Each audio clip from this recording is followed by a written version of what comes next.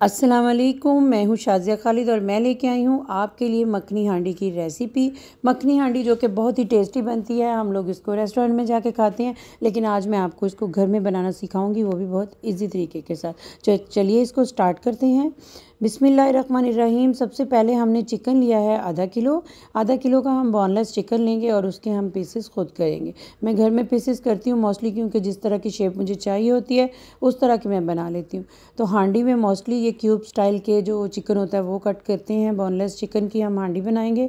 तो ये मैंने बोनलेस चिकन जो है वो कट कर लिया है। अब हम लेंगे एक कढ़ाई कढ़ाई के अंदर ऑयल डाला है मैंने दो से तीन टेबल स्पून और साथ में एक मीडियम साइज़ का प्याज जो है वो कट करके डाल दिया। उसको फ्राई करना है। जब वो हल्का सा फ्राई हो जाए, उसके बाद मैंने दो टमाटर लिए हैं और उनको गोल स्लाइस में कट करके उनको भी फ्राई कर लेना है। और जब ये दोनों चीज़ें फ्राई हो जाएँ तो फिर हम इसको एक प्लेट में निकाल लेंगे।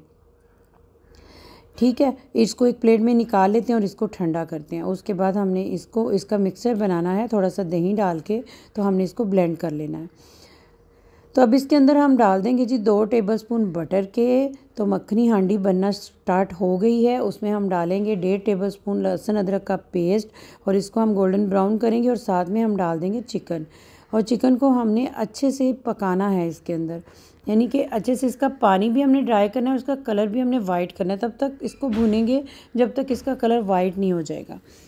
अच्छा जी, अब ये इसका कलर वाइट हो गया, अब इसमें हम मसाले ऐड करते हैं।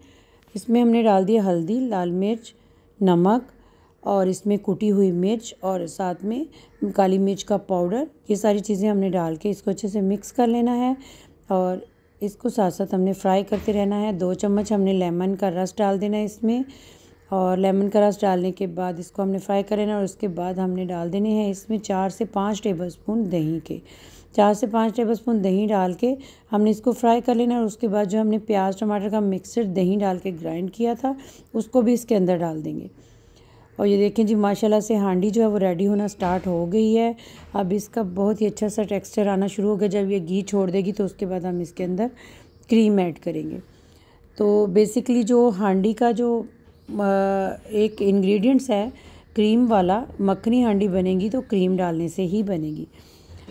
तो इसका टेक्सचर इतना अच्छा होता है मखनी हांडी को मखनी हांडी क्यों कहते हैं? ये तो मुझे आ, पता चलता है जब हम लोग बनाते हैं। आप भी जब इसको बनाएँगे आपको पता चलेगा। इसका टेस्ट इसका टेक्सचर इसकी थिकनेस इसकी ग्रेवी आ, मतलब कढ़ाइयों से हट के सालन से हट के तो ये हांडी का जो टेस्ट आएगा वो आएगा। क्योंकि हमारी अम्मियाँ बनाती थी हांडियों के अंदर तो तब इसका टेक्सचर सेम ऐसा होता था।